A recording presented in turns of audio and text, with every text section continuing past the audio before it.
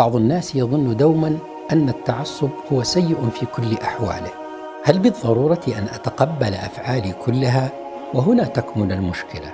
أما الحاضر فهو الذي بين يديك هو الذي تستطيع أن تغير فيه. الماضي انتهى علاقتي بالماضي فقط ضمن إيجابياته المستقبلية. أما الواثق فهو الذي أنصحه أن يقيم أو يستفيد من تقييم غيره. نفوس مطمئنة. يأتيكم في الأوقات التالية.